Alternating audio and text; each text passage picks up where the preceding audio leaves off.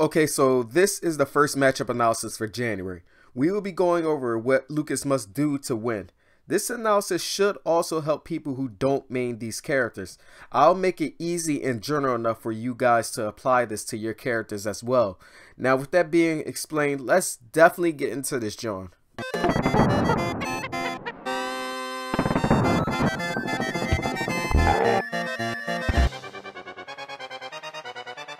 The neutral.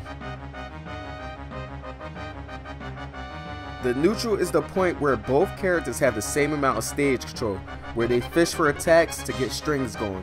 If you need an in-depth definition, go to Izaw's video. I'm not going to explain all that, okay? It's on the Art Smash video. Now with Lucas, you want to keep your distance from K. Rool. Don't be running in. He throw the crown and you get smacked backwards and then you get smacked forwards. Then he runs in with a four here. Trust me, I see this all the time. So you got to be patient. Dodge until you find your way in. Once you're in, let him go crazy. Let him do what everything he can do. All you have to do is just punish everything he does. And I know, trust me, you want to get inside your advantage state. So use your stick. Reflect his crown. The crown is a nuisance, so you have to return that boy. And once you reflect the crown and he reads it, he'll either jump, block, or reflect it back. And when he reflected back, for some reason, the crown breaks, which is good for you. Because now all he has is his cannon, which you can also use your tree branch on. And oh yeah, the cannon will not break if he reflects it. So it'll come straight back to you. You heard it from here. So don't be acting all crazy. Do something stupid. Also, you really don't want him poking your shield. He does a lot of shield damage so just keep that in mind. So to wrap up neutral, you either want him to approach you from all the way across the stage or you force your way in by using your stick to reflect things. This is the advantage state. Before I go into this, advantage state is when you're trying your best to get every hit you can on your opponent before going back to neutral. Again, Check Izaw's video for specifics. So now you're in a advantage state. You got the hit and his options are restricted. You're going to have to watch out for these certain things though. Don't be going crazy on him because he could throw out his very thick belly. Then you have to know where his crown is at all times. So that way you can return it to him. Don't throw it, just hand it to him nicely. Oh yeah, I did tell you to stay far away, so I guess throwing it is fine. Watch for his counter because when you're in a advantage state, you're going to want to use PK Fire to force your aggression. It's better if you wave bounce your PK Fire so it doesn't reach you when reflected. Here's something. I consistently wave bounce 100% of the time. If you need info on that, check the tab at the top. Anyway, you guys really need to watch out for K. Rool mains. They are very sneaky sometimes. They like to throw out the cannon off stage then try to suck you in. So make sure you're not using PK Thunder close to the ledge unless they are very low close to the blast zone. Oh yeah, speaking of PK Thunder, this is what you use to edgeguard K. Rool off stage. The reason why this is your best option is because it keeps you from having any contact with the Crocodile's propeller. K. Rools love to recover low, so you throw out PK Thunder, push them closer to the left or right blast zone, then they'll be forced to take some love from Lucas. K. Rool, I love you. I love you. I love you. And it's something for you guys to watch out for. K. Rools love to throw out the crown when they come in contact with the stage, when they're off stage. So avoid it by jumping and using PK Thunder or just, just avoid the crown altogether and then use PK Thunder.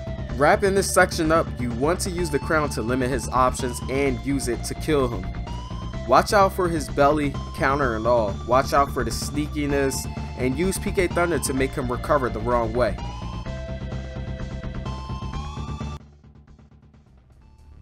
Disadvantage state.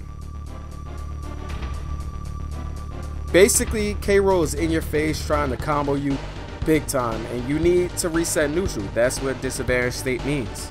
Anyway, K. Is really good at keeping his opponents in disadvantage. His grab range as well as his armor makes it hard to reset neutral. And one thing I want to say is that Lucas's disadvantage state is not the best. And where you're getting comboed, you want to utilize air dodges because K. Rool's up air has more priority than your down air. So For the most part, dude, just don't challenge him. And then use Magnet to mix up your landing. Just don't fall down. And I kinda would say also use PK Thunder, but I'm still testing that myself. So that may not be a good idea. Now, while you're off stage, here are some of the things to watch out for. Some aggressive K. Rools will go off stage and try to hit you with a forward air or a down air. So either recover very low or use your rope snake. And once you're on the ledge, you know what they go for. They go for the suction. And let me tell you, this ledge trap is nowhere near as bad as the Belmonts ledge trap, but it can catch you off guard. And definitely if you're on a stage with platforms like Battlefield, you have to watch out for this trick.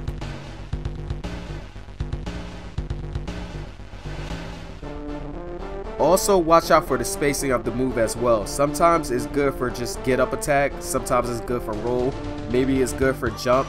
When you get experience with the matchup, you'll be able to distinguish which get up option is the best at the moment. Stages. I would say go for Battlefield. Yeah, go to Battlefield. It's your best bet with Lucas versus K. Rool. It's generally harder for people to land on Battlefield because of the platforms. On a stage like Final Destination, he'll just be able to land with his armor easier. So choose your stage wisely, you need platforms.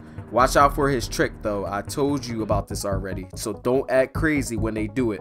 Okay, time to wrap this up. First, big shout out and huge thanks to the K. Rool player, Plague Von Karma. He helped me gather most of the footage, so I really appreciate that. Guys, check him out on Twitter, at Plague Von Karma. It will be in the description below. But my thoughts on this matchup is that it's in Lucas' favor. Not a huge lead, I would say maybe 60-40 or 70-30.